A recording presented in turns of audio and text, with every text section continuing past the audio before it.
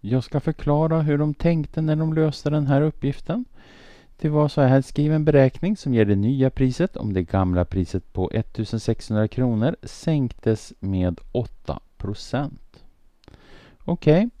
och så tittar vi på Julia och Martin och här tänker inte jag skriva utan här tänker jag bara resonera och så sen om det här hade varit ett prov så hade jag skrivit ner som jag hade resonerat. Då.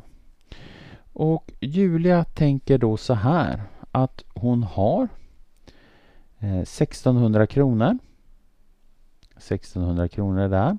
Och sen drar hon bort vad 8% är på 1600 kronor. Så hon drar bort 8% av det gamla priset. Och har jag då 1600 och drar bort 8% av det här 1600 så blir resultatet 1462 kronor. Och Martin han tänkte ju då så här att jag gör om den här sänkningen med 8% till en förändringsfaktor.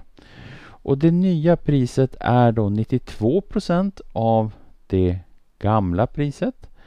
Eh, eftersom att har jag då, jag kan visa lite grann vid sidan av, har jag 100 eh, och så sen så tar jag bort 8 ja då har jag 92% kvar. Alltså 0,92. Så Martin tänkte då att okej, okay, jag gör om den här sänkningen med 8% till en förändringsfaktor som är 0,92. Och så sen så multiplicerar jag det med det gamla priset. Och då får jag hur mycket det nya priset är. Då.